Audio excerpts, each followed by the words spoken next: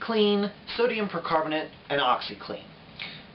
Easy Clean and OxiClean both contain the same active ingredient, sodium percarbonate. Now this substance, when mixed with water, becomes an oxidizing agent that produces both hydrogen peroxide and soda ash.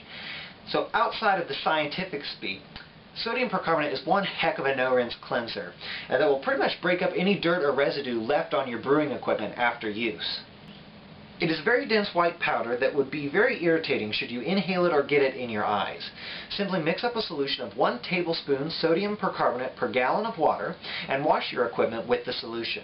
It is regarded as a no-rinse cleanser, however, white spotting will occur when it dries.